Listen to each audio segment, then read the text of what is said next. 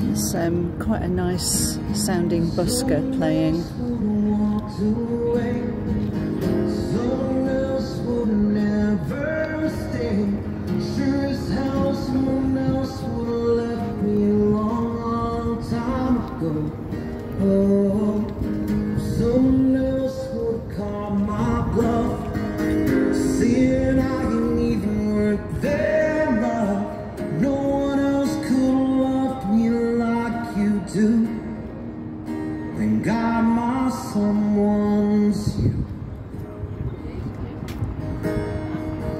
That's the rooftop of the Hard Rock Cafe over there. And the Acme Feed and Seed building.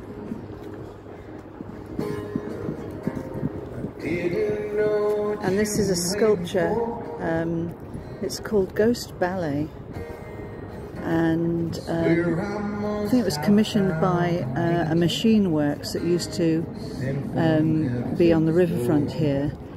And there's no explanation but I think it's repurposed bits of metalwork um, put together in some sort of artistic form that's supposed to be like a ghost of the former factory. That's my interpretation anyway. And uh, the massive Nissan Stadium behind, home to the uh, Tennessee Titans, I think they're called.